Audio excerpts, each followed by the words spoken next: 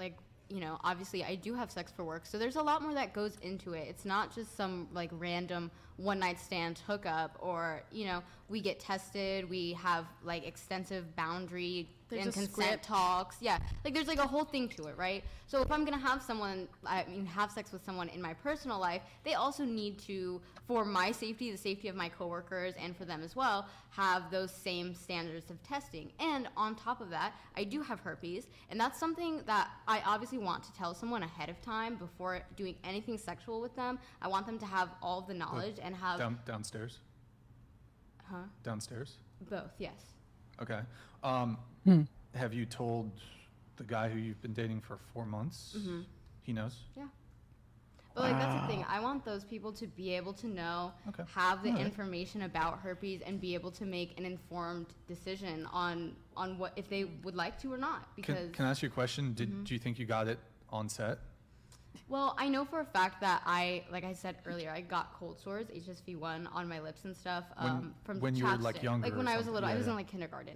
Um, But- I do Kindergarten. think I got it on my uh, vagina because of the porn industry, because of, course. how little it's talked about. Um, Sure. You know, because we don't test for it, but people don't tell you that. You know, and they don't say, "Hey, I have herpes. I don't have an active outbreak. We're shooting this scene." Your agents don't tell you. Directors don't tell you. And Damn. when you're young and inexperienced and you don't know the right questions to ask, you don't know. And for me personally, I thought I had just had a rip or a cut or something, and a director actually looked and was like, "Oh, you have a herpes outbreak," and I had no idea. Does that, Wow. can you still be in the industry if you have like, So yes, so they don't test. So the reason why they don't wait, test, it's not even that, like, even if you don't test, but like you said, a director saw And, and like, notice, so yeah. It's not just you were not disclosing, they know. Do you disclose to the people you shoot with that mm, it's not really talked about, but I you don't disclose? You don't tell them? Mm, it's like No, she does not tell them the person she's having sex with on sets set that she has herpes. That is what is happening here.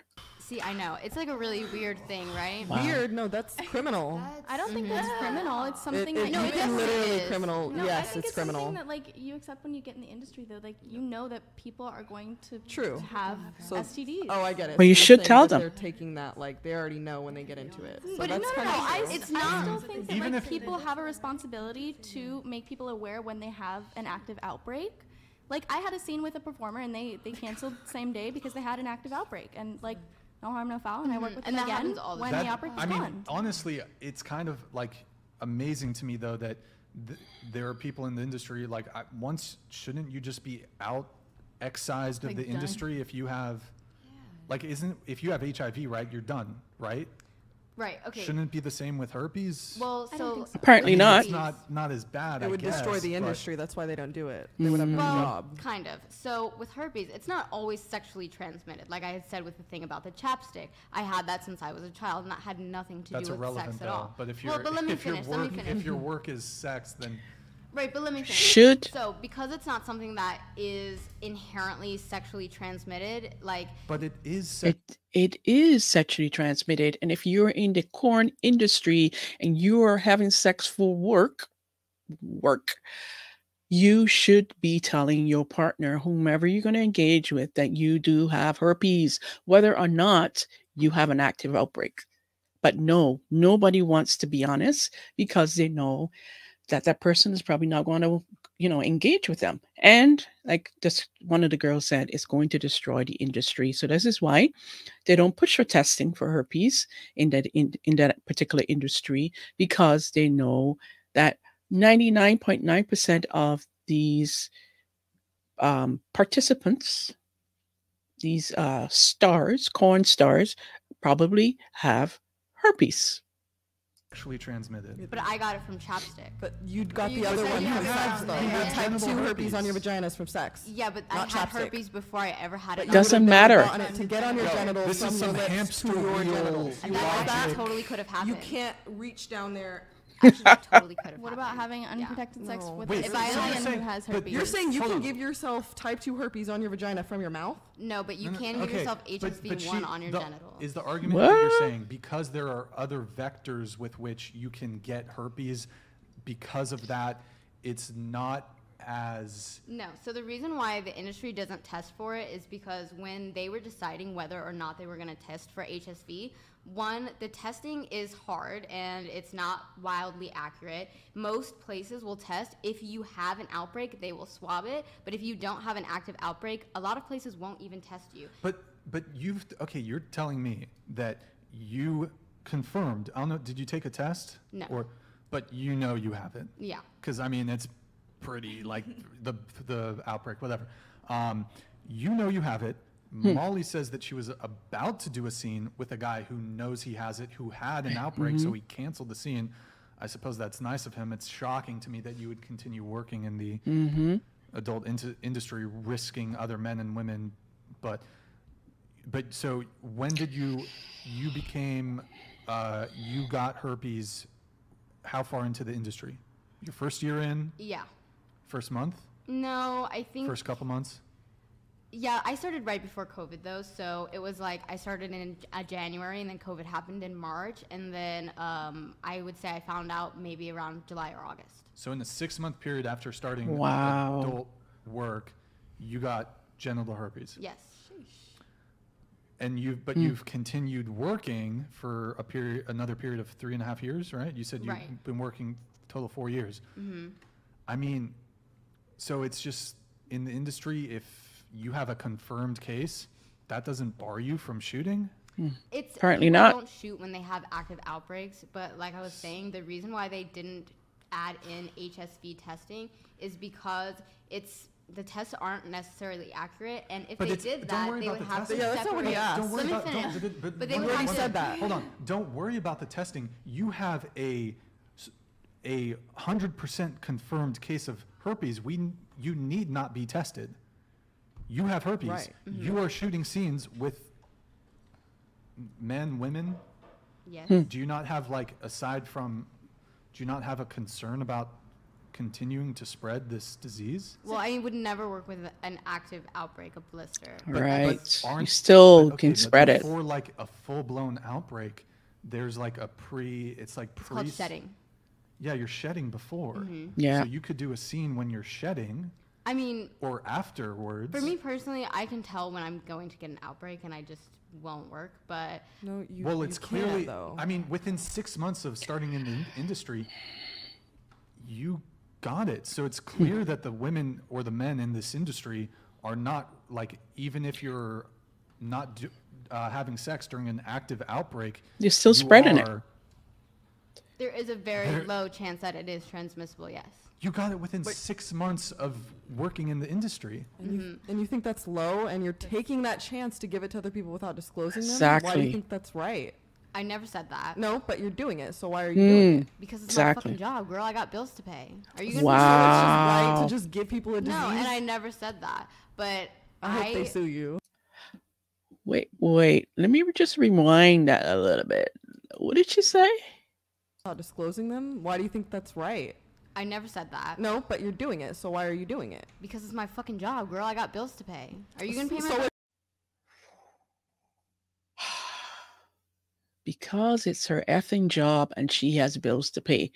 Since when do we where are we only able to make money by spreading our legs as women?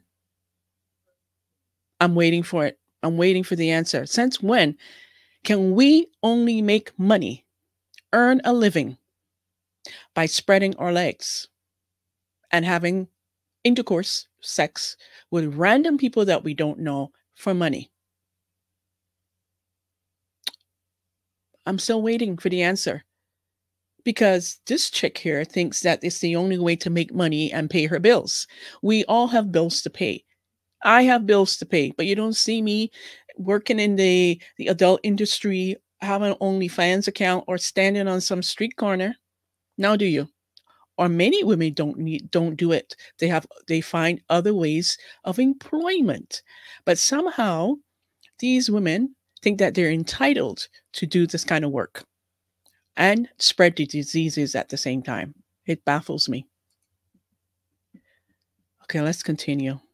Industry, you got it. So it's clear that the women or the men in this industry are not like even if you're not do, uh, having sex during an active outbreak, you are. There is a very There- low chance that it is transmissible. Yes. You got it within six months of working in the industry. And you, and you think that's low, and you're taking that chance to give it to other people without disclosing them? Why do you think that's right? I never said that. No, but you're doing it, so why are you doing it? Because it's my fucking job, girl. I got bills to pay. Are you gonna pay my so bills? it's just right to just give people a disease? no, and I never said that. But I hope they sue you. Do you She's not? not giving but people you don't- disease. She's taking the Wait. She active give you herpes? precaution. Wait, no, question. I don't Do- have Didn't herpes. you guys- and I fucked her like I twice. know, you guys all fucked, right? you guys said you guys all fucked. So, Wait, can you? Raven DT What? $69. I am not a lawyer, but for the record, knowing you have an STD slash STI and not informing a partner about it and then proceeding to have sex with them anyway is considered sexual battery.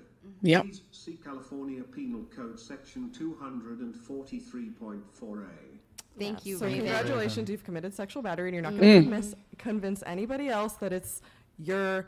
Oh, but according to me, according to me, but when I do it, no, it's wrong. Either way. Never said that it was right. Wait, do you not disclose to, let's say you're not having an outbreak, do you tell the people that you're working with that you have herpes? You see, If they ask for sure, but it's you don't- you Yes, don't they ask. nobody ever That's what disclosing means. If Disclosing they're you don't have to asked ask. for. It means you disclose the information without the other party asking. Jesus. Okay. Donated $69.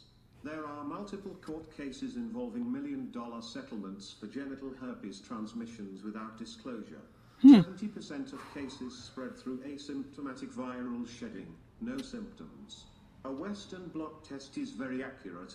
Layla and Molly take the test. I've taken a herpes test and I don't have herpes, so Same as well. I took it right out. I got out of porn, so. Well, when was Molly, your last do you shoot? have- No, I don't have When I got out of herpes. porn, But I took my test, and that Oh. was like. Uh, Bond donated $69. Wow, wow, wow. Gentlemen, this is what you have to deal with because these mm. same girls here who are in the adult industry having sex, who have herpes, having sex with other people, even if they don't have herpes, they can get it. Most of them have it. Then they're coming home and getting into relationships, coming home to a partner who's not in the industry, spreading it to them. And then that man could potentially spread it to a woman. And we have these women running around getting into relationships with people and spreading the disease. This is what you have to deal with, gentlemen. This is a caliber of women that we have around here in the adult industry doesn't give two hoots about who they're harming with their work, who they're harming with the diseases that they're spreading, and you are dating them or you ha- have them as your partner. It's a sad, sad situation for men these days. I'd love to hear your comments about this. Do you think it's okay for a woman in the adult industry to know who knowingly have herpes is not telling the in people she's getting she's sleeping with that she has herpes?